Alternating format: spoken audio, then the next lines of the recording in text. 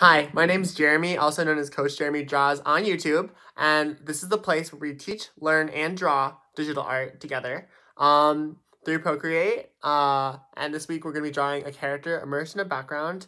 Um, and I just got back from Costa Rica, so I'm in quarantine. But this is an amazing um, opportunity to do more YouTube and to teach and to learn more art. So it took me a little while to figure out what I was, um, what kind of background you guys wanted me to draw today, but I ended up just drawing um, a figure and then just running with it. And I actually ended up just drawing myself sitting down, um, super intuitive. And then I started adding like playing with backgrounds later. And I decided because I coach, because I'm a swim coach, um, how awesome would it be to record that experience? It's been so amazing and so unique, and I don't know if I will always be a swim coach. So this is a unique time, and I love and appreciate every second of it. And so this video is dedicated towards that. And so you can definitely just visualize the character I drew last week and right into the to the video. So I just drew a pool and then lots of swimmers inside and the water. And there's so many amazing elements to this piece.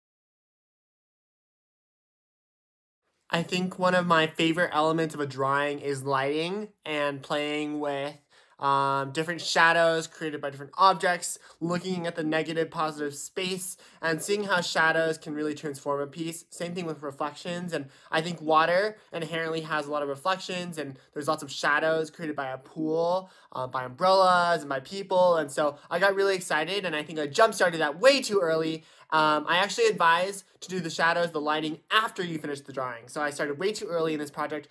Go last. Do the lighting last um, it will save you so much time. So today's a little bit different. I want to try new um, and different video formats while I'm still a green YouTuber. Still fresh, still springy. Um, so I'm just drawing the summers in the foreground with a blue brush rather than a black brush just because I thought it'd be interesting. Um, I'm going to basically start with the basics. I really wanted to have one um, piece kind of finished or at least um, have a little bit more detail on it so I could orient and direct the rest of the drawing. I've decided to actually have more detail on the character than the background, and the background's a little bit more blurry, done in a little bit different of a style, um, just to create emphasis and to um, show the contrast between the character and the background. Okay, so you'll see that I use predominantly red, blue, and yellow in this work, meaning I use a triadic color wheel. And another art thing that you'll notice is that I created, okay, so to create the water that I did, um, I first used one color, I used light blue, and then I went in with a darker blue to emphasize the, the, the edge of the pool where the wall is, because I noticed that's what happens when you have a wall. And then I went on top with the patterns and the reflections of the bubbles. And um, if you just look at my drawing, and I'm really bad at this, but I think um, a, co composition that I used was um, an oval or a circular composition because um, the caps and the faces, the, the way the people are located resembles a circle or a group. And so I think um, an element of art that I use in this design process is unity because the yellow caps uh, were able to create the composition and create flow. So that that's my high school art talking.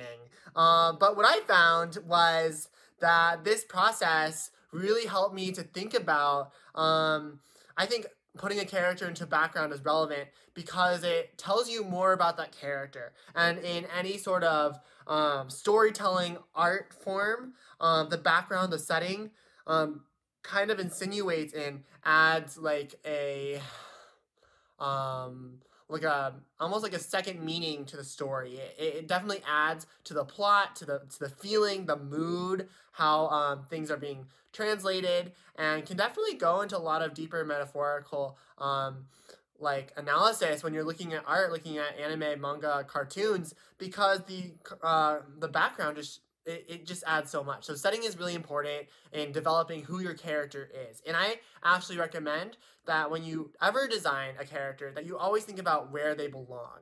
What background would they exist in? What kind of story would that character be in? So definitely go ahead and add that in. All right, thank you so much. I appreciate you for staying to the end of the video. Make sure to like, subscribe, and comment below. Remember, I want to reach 100 subscribers at the end of the month. Thank you.